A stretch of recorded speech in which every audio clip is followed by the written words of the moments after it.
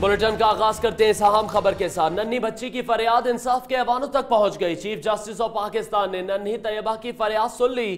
Chief justice Saqib Nisar نے اسلام آباد high court کے رجسٹرار سے چوبیس گھنٹے میں مکمل رپورٹ طلب کر لی۔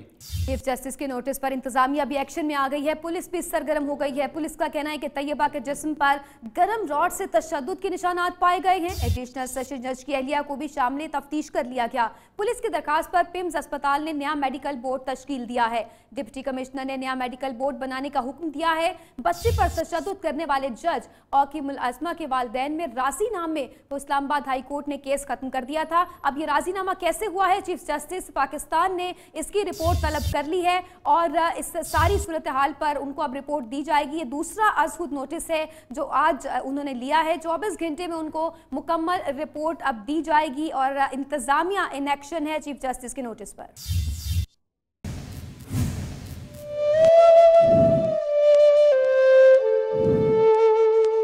اسلام آباد میں تعینات ایڈیشنل سیشن جج راجہ آصف محمود کے گھر میں کمسن ملازمہ پر وحشیانہ تشدد۔ نیو نیوز نے آواز اٹھائی تو انصاف کے ایوانوں میں ہلچل مچ گئی۔ مقدمہ درج ہوا لیکن پہلی ہی پیشی پر ختم ہو گیا۔ دس سالہ طیبہ کے والدین نے جج صاحب کی بیگم صاحبہ کو معاف کر دیا۔ ایڈیشنل سیشن جج کی اہلیہ کو ضمانت بھی مل گئی۔ نیو نیوز نے انصاف کے خون پر صدائے احتجاج بلند کی تو چیف جسٹس آف پاکستان نے از خود نوٹس لے لیا۔ رجسٹرار ہائی کورٹ کو چوبیس گھنٹوں میں کیس کی کی مکمل رپورٹ جمع کرانے کا حکم دے دیا۔ فریقین کے مطابق راضی نامے کی کاپی بھی طلب کر لی گئی۔ دس سالہ طیبہ کے والدین نے بیان حلفی دیا تھا کہ مقدمہ بے بنیاد ہے اور واقعات کو درست طور پر بیان نہیں کیا گیا۔ سوال یہ ہے کہ اگر ان کا بیان درست ہے تو پھر دس سالہ بچی پر وحشیانہ تشدد کس نے کیا؟ گھر کی صفائی ستھرائی کے لیے کمسن بچی کو ملازم رکھنا کیا جرم نہیں؟